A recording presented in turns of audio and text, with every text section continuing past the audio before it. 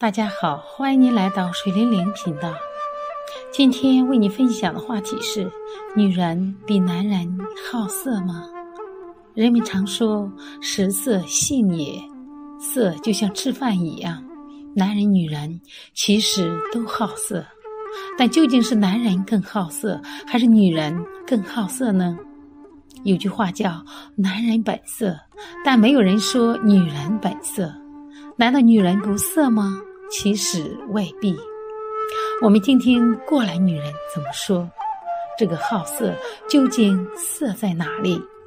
其实它不仅仅是只为了发生两性关系而做的一些事情，也是对美好异性的一种欣赏。当然，这个欣赏的对象也是不固定的。其实好色是人性的弱点，我们不必大惊小怪。也不用戴有色眼镜看待他们。其实，女人好不好色，并不是表面上能看出来的。这些女人在平时可能会表现得非常矜持，但是当她们在试图释放自己的时候，也就不会再去压抑自己的天性了。特别是在和情人一起的时候，女人对生理上的这种原始兴趣，其实远远高于社会容许他们的范围。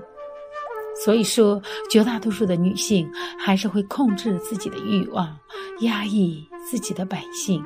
一般来说，女人在需要男人的时候，多半是暗示，而不是直接表达。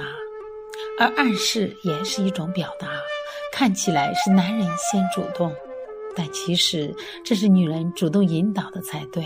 所以，男人和女人的好色只有外表和含蓄的不同而已，并没有程度上的差别。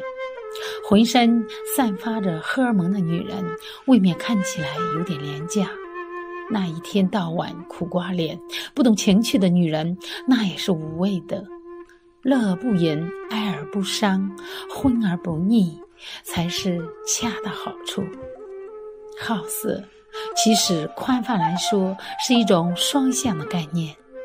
一个人对另一个人单方面的色，那只能叫花痴。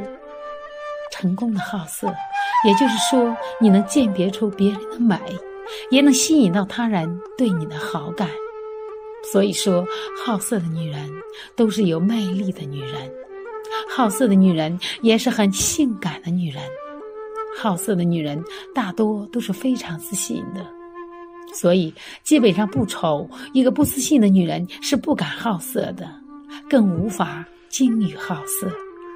好的，朋友们，今天的分享就到这里了，下期再会。